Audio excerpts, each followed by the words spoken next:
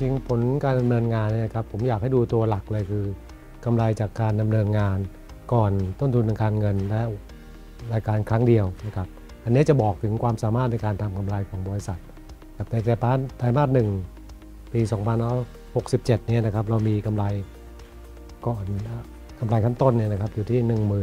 11,075 ล้านบาทนะครับถ้าเทียบกับไตรมาสหนึ่งของปีที่แล้วเนี่ยก็ลดลงประมาณสัก 15% แต่มันก็มีเหตุผลก็คือ เนื่องจากเรามีเครื่องบินที่เข้ามาใหม่นะครับตัว 350 เนี่ยมันก็จะทำให้การตั้งสำรอง การซ่อมบำรุงเนี่ยเพิ่มขึ้น ในขณะที่เราจะไม่ได้ใช้เครื่องบินเต็มที่เพราะเพิ่งเข้ามานะครับ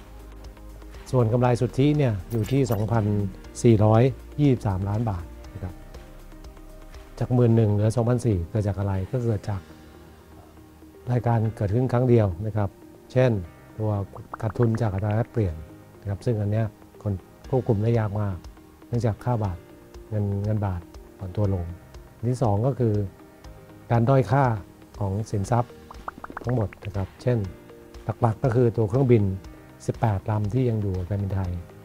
ซึ่งในขณะนี้เราได้ผู้ซื้อแล้ว ตัวที่ 3 ก็คือ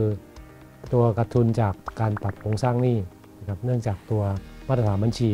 นะครับก็ต้องมีการปรับปรุงรายการนี้ ซึ่งก่อนหน้านี้เราเคยรับรู้กำไรไปแล้วรอบหนึ่งนะอันนี้เป็นการปรับปรุงตามมาตรฐานบัญชี